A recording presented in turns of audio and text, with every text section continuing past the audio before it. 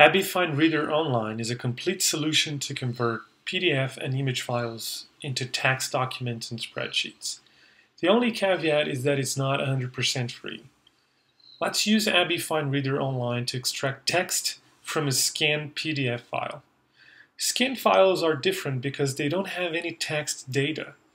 The computer needs to read the image and recognize the characters that are there, making sense of the text.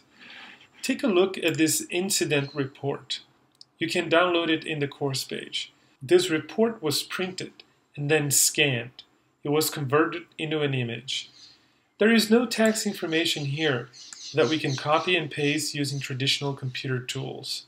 What if you have tons of reports like this that you want to extract text information from? All the data is locked in the image. We have to free it.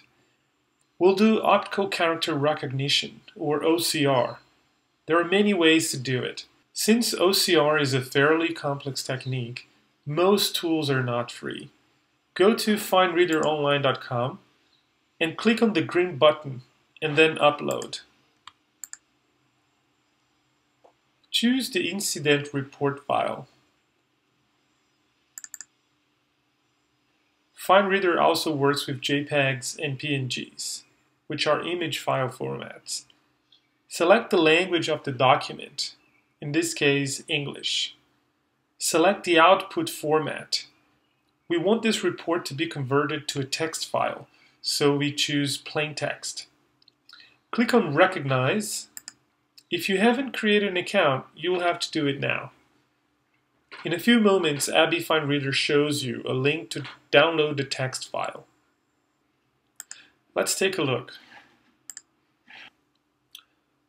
OCR is rarely perfect, but the way it works is remarkable. Notice that the text was recognized, but there are still some imperfections. The narrative text body was 100% recognized, but the, the headers, well, not so much. You can also use FineReader to output files in other formats, such as Excel spreadsheets and Word documents. Try other output formats and see what you get with different results.